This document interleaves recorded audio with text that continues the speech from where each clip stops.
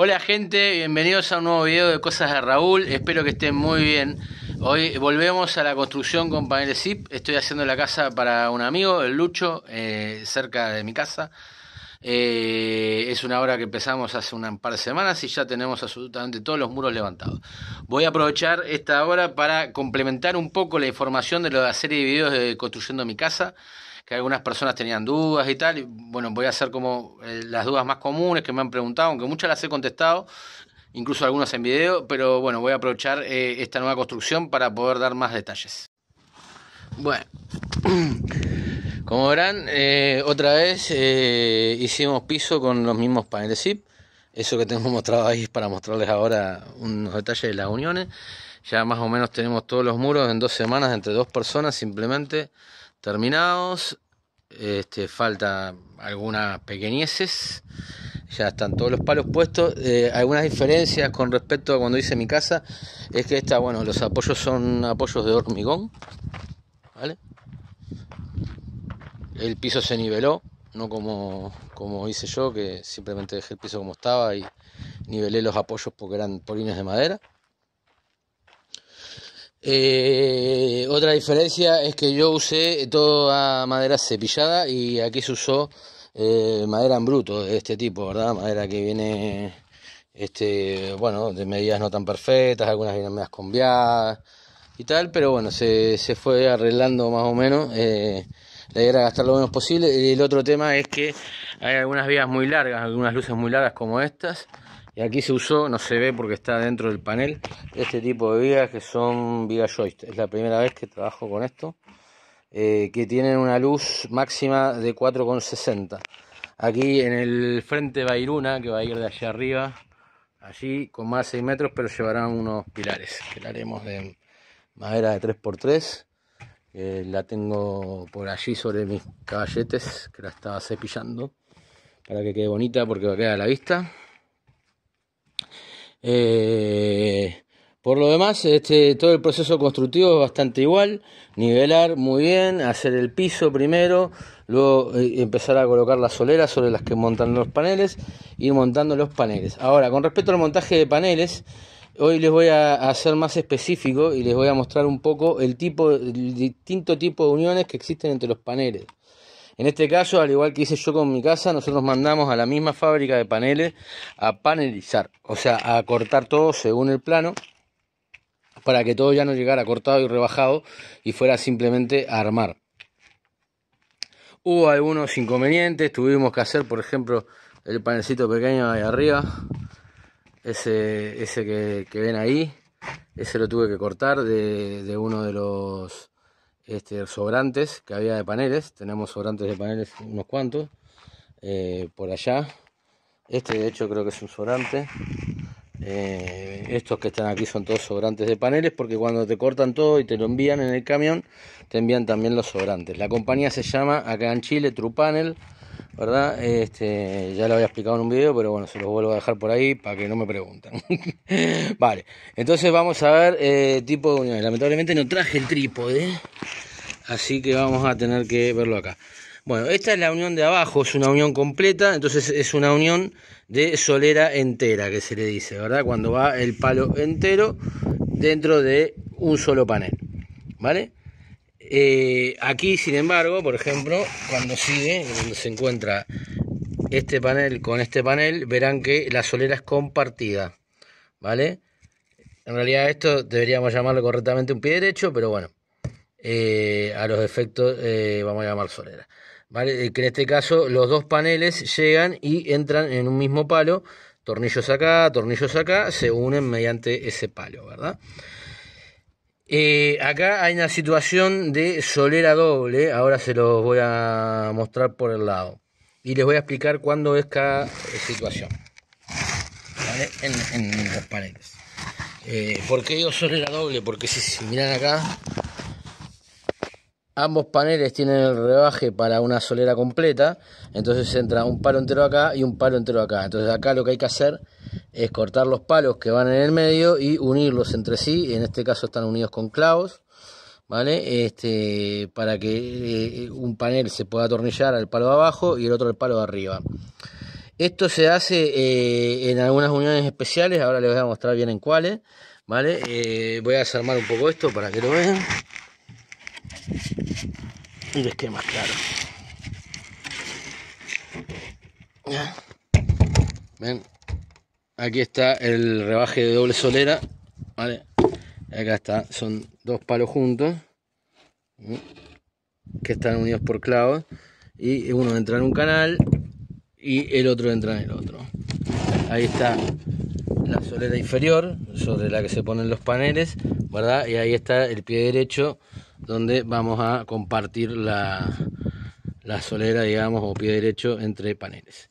Entonces, ¿dónde va cada uno? Bueno, todo lo que es la parte de abajo, como les había explicado, o sea, lo que va contra el suelo, siempre va la solera entera y el panel va a descansar entero sobre el suelo y todo esto acá va con tornillos. Todo lo que son los pies derechos, así, estos así, las uniones entre dos paneles así, todos esos van generalmente con solera compartida, salvo en alguna situación muy especial, como puede ser de repente capaz eh, en estas ventanas que adentro hay una vía y no sé qué, que tienen solera este, eh, doble. Aquí hay dos palos adentro, como se puede ver ahí. Lo mismo pasa en el suelo, eh, en todo lo que va hacia lo largo, va con la solera compartida, pero en estas uniones de aquí, la solera es doble. Allí hay dos palos puestos entre estos dos. Es por un tema estructural, eh, le da una, una ventaja, digamos, de, movilidad y poder calzar. Aquí pasa lo mismo, abajo hay un palo entero, ¿verdad? Que está con la solera completa, y aquí donde llegamos a la unión de estos dos paneles en el vertical, eh, tenemos doble palo, uno abajo y otro arriba. Pero la, la, el resto de uniones pueden ser soleras este, como estas este es un solo palo, ¿verdad? Aquí es un solo palo, aquí es un solo palo, un solo palo, ¿vale? El detalle de una esquina, eh, ¿qué pasa en una esquina? En una esquina ambos tienen eh, el rebaje entero, en las esquinas y arriba ambos tienen el rebaje entero y entra un palo entero que es para rematar la solera, ¿vale? Entonces, esto acá tenemos una esquina, por ejemplo, este palo entra entero acá, ¿ya? Y en este otro panel que está acá hay otro palo entero acá. ¿Eh? y de aquí para acá pasan unos tornillos bien largos, ¿vale? Esto ya lo mostré en un video, pero bueno, que une y atraviesa toda esta madera y se mete en la madera que está aquí adentro, uniendo toda la esquina, ¿vale? Esos tornillos, por acá los tengo, son así, ¿no? De este tipo. ¿Ven? Que entra y pasa para el otro lado de 5,5 pulgadas en este caso, porque estos paneles tienen 3 pulgadas los palos, el panel en total tiene menos de 4 pulgadas. Eh, estos tornillos se llaman Spax o Turbo Screw, ¿eh? se los puede encontrar por ambos nombres, por lo menos acá en Chile. ¿Qué más? Cuando armamos eh, los paneles, mucha gente me ha preguntado si no pongo espuma expansiva, espuma de proletano, o eh, porque se ve en muchos videos, o eh, adhesivo montaje, vale. Eh, la espuma de proletano, en, el caso de la panelización que yo hago con Trupanel, no es necesaria porque, como verán, todos los palos entran muy justo. De hecho, hemos usado en muchas ocasiones un mazo para poder lograr meter el palo dentro del panel. No hay ningún tipo de de, gap y si yo pusiera la espuma de poliuretano pues eh, aumentaría el espesor y ya no aumentaría el palo por lo cual no la puedo usar. Tampoco eh, me conviene eh, en estas circunstancias donde estoy trabajando por el tema térmico porque aquí térmicamente hablando no es una zona muy fría ni es una zona muy cálida. Es una zona donde todo el año oscilas en unas temperaturas muy intermedias con lo cual tampoco me interesaría, digamos, tanto a ese nivel. El adhesivo montaje. El adhesivo montaje sí se puede colocar eh, y sí sería conveniente colocarlo si, si lo tienen. Si no lo tienen no pasa nada, con coser bien con todos los tornillos que lleva, ¿vale? Los tornillos van, acuérdense, cada 10, 15 centímetros como mucho, ¿ven? Tornillos, tornillos, tornillos, y siempre los tornillos que lleva en cada ocasión, ¿vale? Eh, entonces, si está todo bien cosido y tal, no van a tener problemas, pero Eh, no está de más, si se lo quieren agregar, el adhesivo montaje lo pondrían sobre los palos, ¿verdad? Cuando uno tiene montado aquí la solera, por ejemplo, todo aquí iría adhesivo montaje y en los lados también le pueden poner adhesivo montaje para mayor seguridad, ¿vale? Eh, bueno, y eso es todo en cuanto al tipo de uniones. En definitiva son tres uniones que vamos a tener. La del rebaje entero, donde entra el palo entero. La del rebaje compartido, donde entra la mitad. Y la de dos rebajes enteros, donde vamos a tener que usar ese tipo de palos dobles, digamos, unidos con clavos. Que puede ser tornillos también, no tienen por qué ser clavos. A mí me gustan los clavos porque el clavo es más flexible, no se quiebra y el tornillo puede quebrar. Ahora en un sándwich de estos eh, hecho de palo, una vez que lo ponen, le ponen 5 o 6 tornillos, tampoco se van a quebrar porque están adentro de la madera y ya no van a tener el movimiento suficiente para quebrarse.